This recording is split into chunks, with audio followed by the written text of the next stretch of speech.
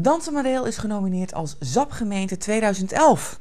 Zaterdag is tijdens de kick-off van de Landelijke Opschoondag bekendgemaakt welke gemeenten genomineerd zijn voor de titel ZAP-gemeente 2011.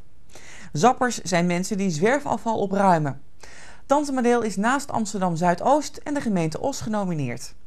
Vrijdag wordt bekendgemaakt wie wint. De winnaar krijgt een volledig verzorgd ZAP-evenement in 2011. Als gastheer geniet deze gemeente nationale belangstelling en bovendien draagt de gemeente een jaar lang de titel ZAP-gemeente van het jaar.